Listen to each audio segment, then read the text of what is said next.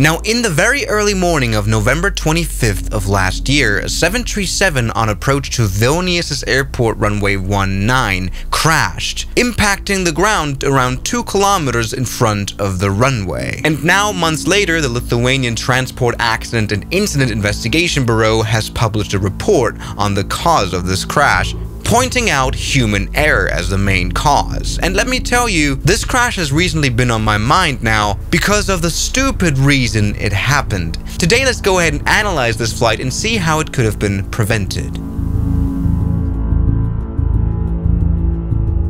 Now it is nearly 3 a.m. at the Leipzig airport here in Germany, and the crew prepares for this two and a half hour flight from Leipzig to Vilnius. We're on board the 737-400, a 31-year-old airplane with the registration Mike Foxtrot Echo. Now, yes, indeed, this is an older airplane, an older 737 that doesn't really fly for passengers, at least in Europe anymore. But it turns out the age of this aircraft has no matter to the cause of this crash. And it could have easily happened on a newer model of the 737 indeed. Either way, the plane departs from runway 26 left of the Leipzig airport to embark on this flight.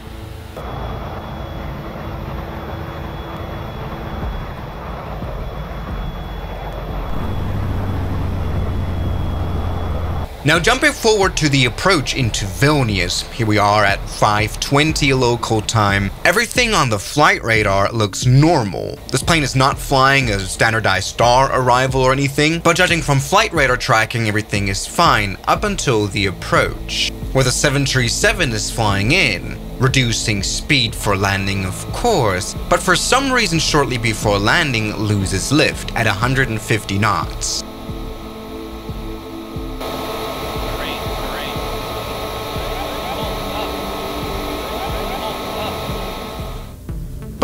Did you notice something?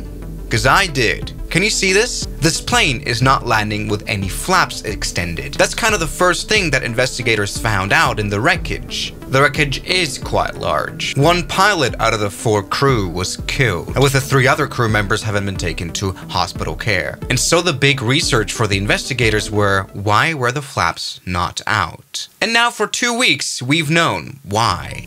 Now, of course, flaps were properly set on the approach. Pilots did not forget about that. But the reason why the 737 did not actually put out flaps on the wing is not because of a mechanical issue, but because of a huge pilot error. As it now turned out, the captain accidentally disabled the flaps system by clicking the wrong switch. And this part almost confuses me. Let's jump back to around 13 minutes before the crash, where this fatal error happens. The crew is descending through 18,000 feet for landing, and because of the weather conditions, the pilots decide to turn on the anti-icing. Yes, at the moment, it's snowy in Vilnius, it's winter, it's cloudy. Yes, a humid atmosphere where ice really builds up on your wing and your engines, which is why the captain decides to reach up to the top panel where the engine anti-ice and the wing anti-ice switch is. But apparently, the pilot doesn't turn on the anti-icing, but turns off the hydraulics B system of the airplane, the switch right beneath it. Now I know this whole video is a bit rich coming from someone who's not an airline pilot and not a 737 pilot like me, but it is true, in my experience, it is a bit easy to confuse these two switches. They have the same feel. And apparently, according to some 737 pilots, this kind of sometimes happens. Where I would even say, hmm, Boeing, maybe this whole hydraulics panel should be better protected from accidentally turning it off by, for example, adding a two-way switch, you know, with a cover on. But you know, my confusion isn't even about that, accidentally turning this off. It's rather about the fact that turning on the engine anti-ice is obviously the other switch direction from turning off the hydraulic pumps. So in terms of muscle memory, I have no idea what went wrong in that cockpit for the pilot to not only switch the wrong switch, but also not notice that the switching the other way to the off position. I think you know what I mean here. But as I said, usually turning off these hydraulic pumps or accidentally doesn't immediately cause death. So let's see what happens now. As in real life, we're descending, we've got the autopilot B on, and let's turn off those hydraulic pumps. There you go. Boom both of them. And what happens now is that we've got a master caution light as well as the autopilot having been disengaged. It says hydraulics on this panel, it says flight control on this panel.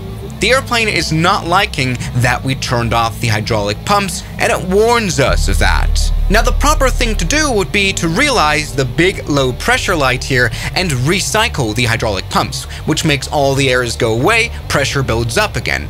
But in real life, they decided to click away the warning light, as well as the autopilot, and hand fly the airplane. They made the attempts to re-engage the autopilot B, but they were unsuccessful, obviously. Now just because you turn off the B system of the hydraulics of the 737, the plane doesn't just fall out of the skies, and it didn't. The system B essentially does part of the flight spoilers, the autopilot B, which is why it disengaged. It also does the yaw damper, which is why we had a flight control warning, but most importantly, the trailing edge flaps, which is exactly with the reason why it didn't come out. Now, I really don't get how this error was recognized over the next 13 minutes of flight. The captain did recognize that the autopilot was disconnected about the same time as he attempted to engage the anti-ice switches, but that point was no further discussed by the crew. During the approach, the co-pilot asked whether the anti-ice is on, and the captain confirmed, even though the anti-ice switch was obviously off, and it wasn't lighting up. There is no blue light there. So you might even say the captain didn't even look up to check because he would have definitely noticed those red lights showing, uh oh, hydraulics are off. And even minutes later, when the captain wanted flaps 5, they didn't see that the flaps was still in the up position. In fact, the co-pilot only realized 12 seconds before crash that something was off. Co-pilot recognized that flaps are retracted. Immediately after the stick shaker activated, sink rate pull-up warning was triggered by the enhanced ground proximity warning system.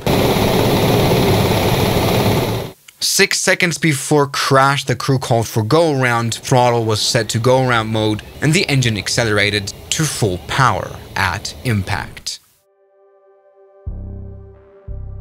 Now, the sheer amount of mistakes that happened on this flight is just insane. Here's, by the way, uh, a, a, uh, original picture of the wreckage that was found. We can clearly see the hydraulic pumps B off, as well as the anti-ice. Reading through the incident report really makes you worried. With a crew that made lots of air traffic communication errors, with a crew dialing in the wrong frequency of the Vilnius approach air traffic controller, or reading back the wrong frequency of the Vilnius airport frequency, to the point where they didn't even talk to the Vilnius airport tower because they entered in the wrong frequency. It's riddled with little mistakes. Now, it's clear that some sort of pilot fatigue caused these errors. The captain of the flight had overall 5,000 hours. 1,200 were on board the 737. That's definitely enough, while the co-pilot was relatively new, only having 520 flight hours, of which only 190 were made on the 737. This will be something that will have to be investigated further, why these pilots managed the airplane so poorly, especially considering that over the last 24 hours prior to the accident, both crew did not fly a lot, only 1 hour and 20. So we're not talking about an overworked flight crew